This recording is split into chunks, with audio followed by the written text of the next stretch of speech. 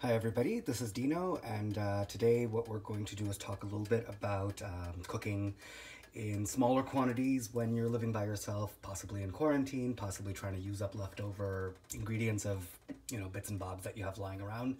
Um, and uh, right now I have this non-stick pot, I believe it's um, four quart, I could be mistaken. I already have some um, water in my hot water kettle um, and I'm gonna boil that um, so that it comes to a boil so that when I add my ingredients, I don't have to wait for that to come up. And you can probably hear it in the background, it's gonna make some noise. Um, and this is already preheating a little bit, so I'm actually gonna just throw some oil in there. I would say that's about three tablespoons, give or take. Um, fair bit of oil. I um, doesn't need quite so much, but I do like that flavor that it gives. Um, that one is uh, peanut oil. I like how it tastes. Um, and then on our vegetable side, we have some uh, potatoes, uh, some celery, some cauliflower. Uh, those are red lentils over there in the back. That is uh, carrot and uh, that's an onion. So this is about two medium-sized potatoes. Um, that's mm, like that much cauliflower.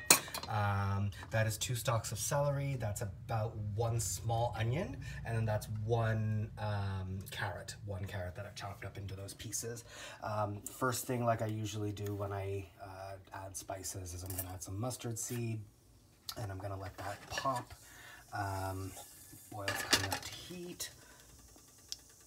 And I want you guys to see the noises and the looks of it when it does its thing while you're watching that, I'm gonna pull out the um, the, the asafoetida, the hing from from um, uh, from my cabinet above the sink. And actually, while I'm here, I'll also get the turmeric powder because I like turmeric in damn near everything, so it's probably gonna end up in here as well. So, uh, so that guy's going. And what I want you to pay attention to is that I don't have excited screaming popping yet um, because it's it's been a couple of minutes and you've been watching the pan heat up all this time. Um, I had started it before I started recording the video and only now is the mustard seed starting to pop and crackle and, and do their thing.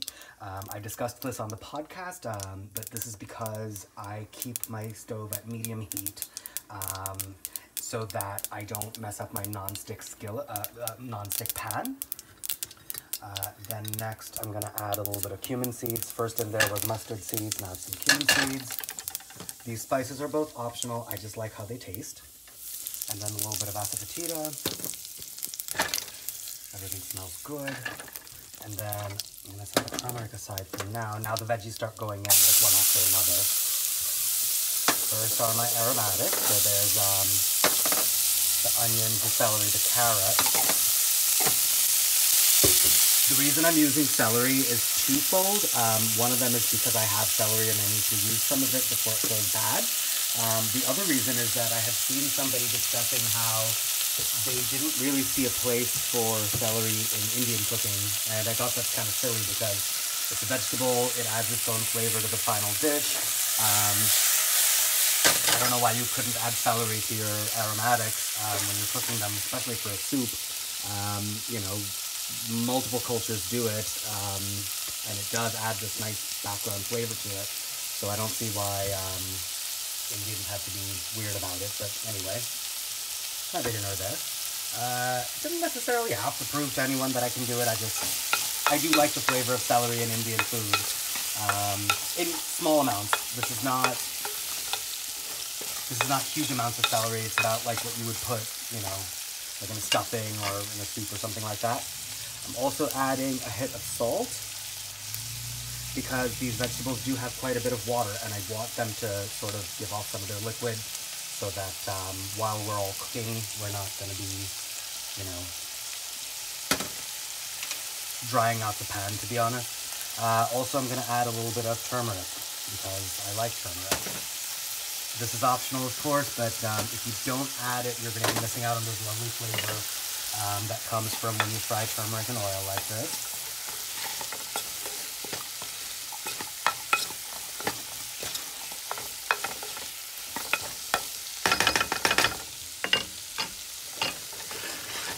And to be honest, I actually don't want the aromatics to disappear into the background like they would if this was like a traditional soup, so to speak.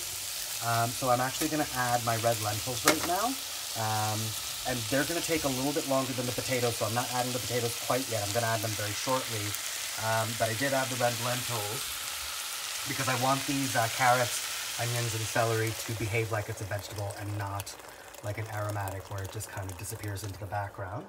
Um, I have added, I want to say about a liter and a half of water right now, give or take. Um, this is just, again, this is all to do with how watery you like your final soup, how, you know, how much you want it to do what it's gonna do. Um, so, but I love this color. I love how beautiful it looks right now. It's got this nice yellow appetizing color. Then um, when the time comes for it, I'm gonna add the potatoes and then the cauliflower. And most likely, I know myself, I'm probably gonna wanna finish this off with some coconut milk or some coconut cream to just give it that nice like finishing touch. Um, but this is gonna take um, a little bit of time to come up to the boil. I'm actually cranking up my heat to high right now um, because, um, again, I discussed this on your heat control episode of, uh, of the podcast, uh, which you can find on altveg.blogspot.com. Um, it's there's a large column of water sitting right here, so like if this was pasta, if I'm boiling a lot of potatoes, if I'm, you know, if I'm doing a lot of boiling at once, that large column of water is going to prevent um, any heat shock from happening to the non-stick coating on the inside. And I know the instruction manual usually tells you do not um, raise your pots above medium heat when you're cooking with them, um, especially if it's non-stick. Um, but because there's so much water in there, and I just needed to come up to the boil, I'm not going to keep it at this uh, full rushing boil to full time. Um, so as soon as it comes to the boil, um, I'm actually gonna take a look at these guys. See, so like, you even see that some of the red lentils are starting to expand already, which is nice, that's what we want. But I don't want the potatoes to mush and break apart. I don't mind if the lentils do, but I don't want the potatoes to become uh, a complete mess. So what I'm gonna do is I'm gonna drop this down to as low as my stove will go to a simmer. Um, and then I'm gonna get the lid and put it on. And as we do in my videos, we're going to let this park um, probably for now, oh, I don't know, I wanna say about like 10 minutes or so. Um, at which point I'll come back and add the potatoes in um, let them finish cooking, and then I'll add the cauliflower in, let that finish cooking, and then just like test it for seasoning and add coconut as I need to. So as you can see, even though I've put it on the lowest heat, this is a bit of a heavy duty pot, so it keeps the heat fairly well. It is still bubbling fairly rapidly. I want to take this down to a simmer, so it's going to take a minute to get there, and um, if it keeps being obstinate like this and it keeps boiling too hard, I'm going to drop it to the lower burner um, back there so that it doesn't, you know, keep rushing like this as, as um, as it's doing now. Come on, guys. Calm down. There we go. There we go. Now, now we have a bit of a simmer. So I'm just going to let this park for about another 10 minutes. I'll set the timer and then we'll come back in 10 minutes, see where we are, and um, let's wrap this up. Okay, so we're back. Um, at this point, um, we are at the 8 minute level, not the 10 minute level. Uh, hold on, let me see if I'm doing this right. Yes, no, maybe so. Sure, why not? Um, and rather than having the red lentils cooked all the way through, they're almost like, I'd say about like 70 to 80% done um, which is about where I want them when I add the potatoes in, the celery, the carrots, the rest, they're, they're coming along. They're not done yet, but they're going to be once um, the potatoes are done. Uh, so in those guys go.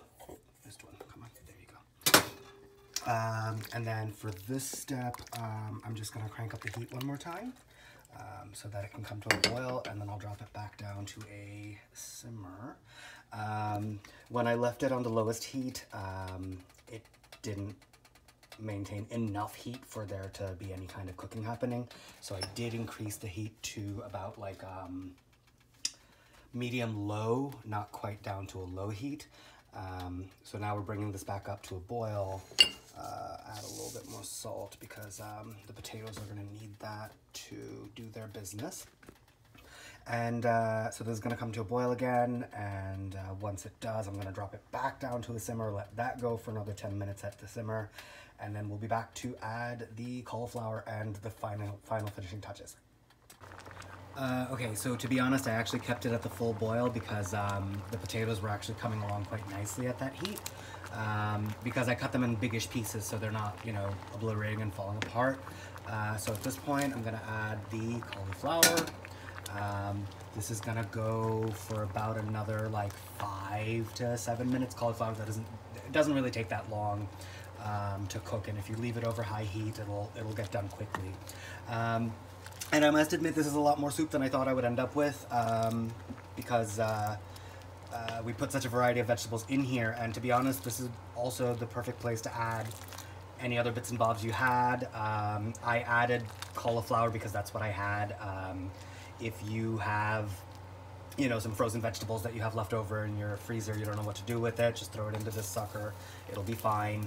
Um, this is the perfect place also for like um, any dark leafy green vegetables that you have, kale, collards, you know, spinach, you know how we all feel about um, uh, eating those dark leafy greens. We should be eating them every day.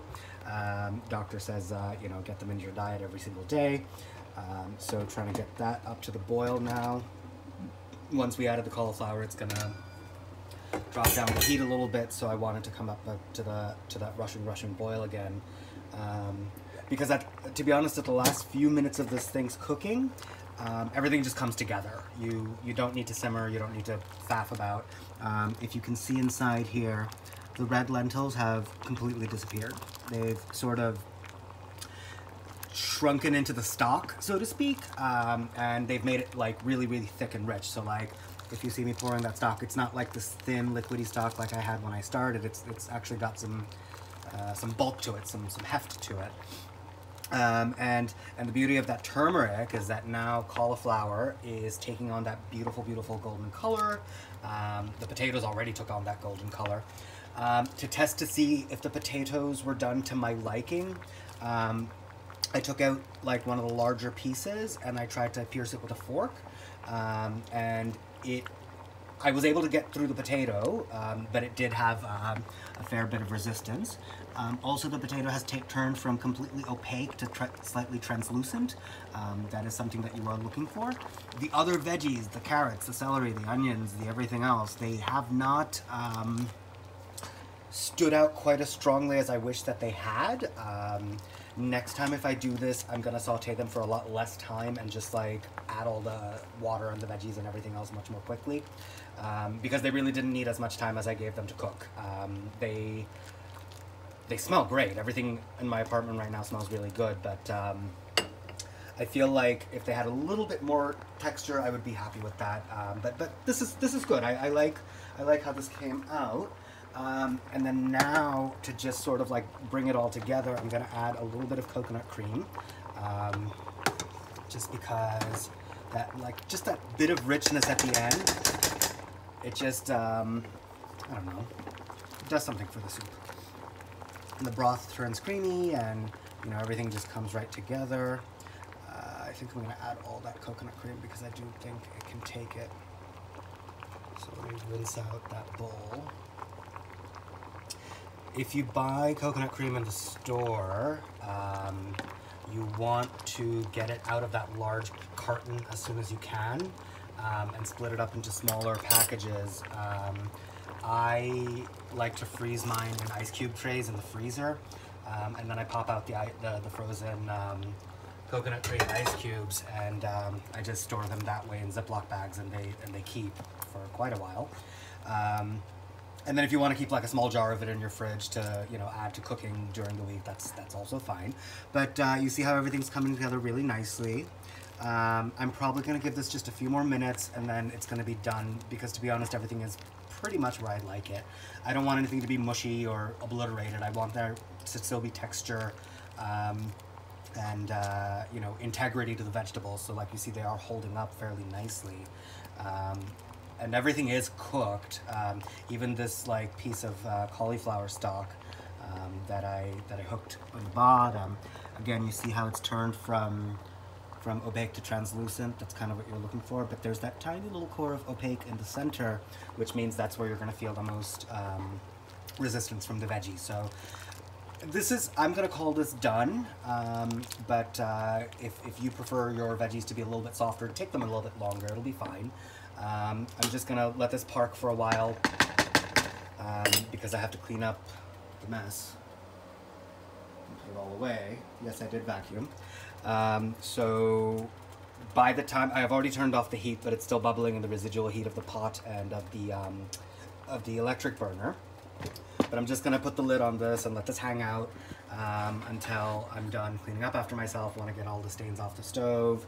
Uh, you know, want to make sure that I leave everything neat for myself so that um, when it's time for me to put it all away for leftovers for tomorrow, I'm not faced with a big giant mess um, staring at me.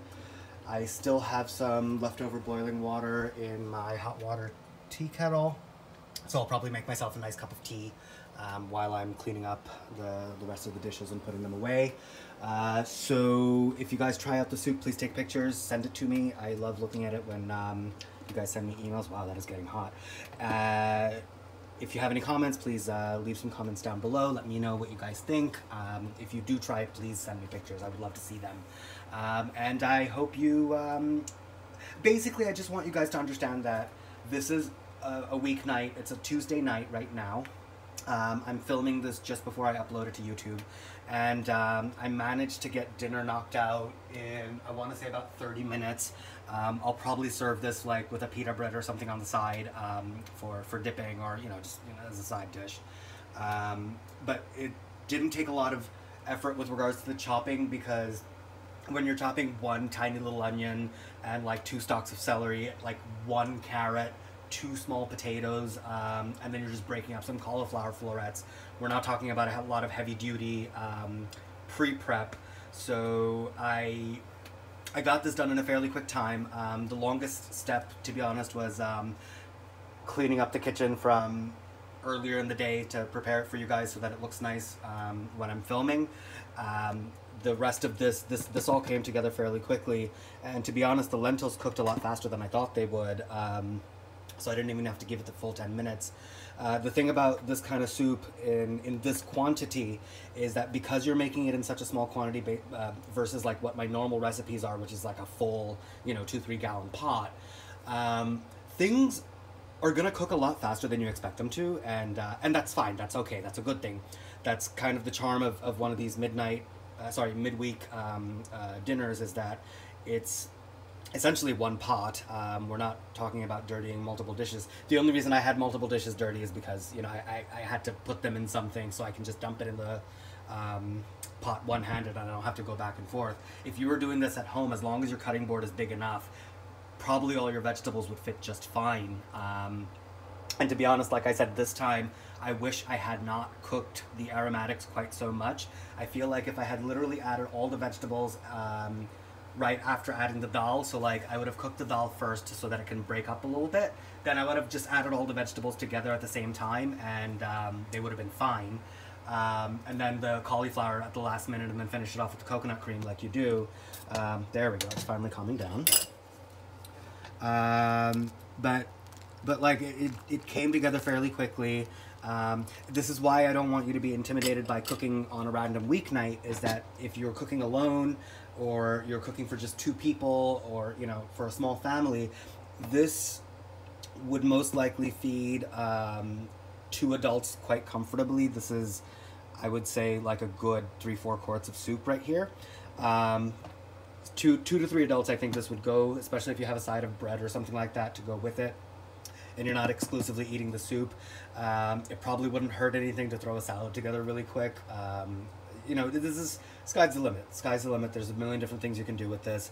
Um, if you ran out of bread and there's none at the store and you don't know how to bake any, um, this probably would be really good with some ramen noodles or some pasta um, as well. I mean, granted, you're gonna cook that in a separate pot, but like your your base meal did not take that much effort. You've got your protein, you've got your fat, you've got your veggies, you've got pretty much everything you could possibly ask for in there. Um, didn't take a lot of effort, didn't take a lot of time because my challenge to myself today was I don't want a ton of food to put away because I don't have a lot of space in my fridge. I have a small fridge. And I also don't want to dirty up my entire apartment by chopping like three pounds of each vegetable and taking such a long time. If I had done that full elaborate soup like I normally would and I filmed a video for it, um, it would have easily taken me like two or three hours. This one, this one, I just, you know, jumped in and started doing. Um, so if I'm able to make dinner and film a video at the same time, um, I think you guys should just give it a shot and uh, and see how it works out for you. you vary up the vegetables, vary up the spices. Um, if you don't like turmeric but you have paprika, that works really well. Um, if you don't have the whole spices, what you can do is um, add the dal and the water together and then add like, you know, some pre-mixed seasoning of your choice and let it all come together and cook. Um, finish it off with the veggies, finish it off with the coconut. If you don't have coconut cream, um, you can use almond milk. It won't be quite as creamy, but it'll still taste good. It'll have this nice little component in there. Um, so there's a million ways where you can customize this. Probably this would not hurt if I threw some cubed tofu into there, or some mushrooms, um, or some tomatoes, or you know some uh, fresh herbs at the end. I think this is eminently customizable. So uh, definitely leave me your comments below. Let me know what you think, and uh, hope to catch you next time. Bye.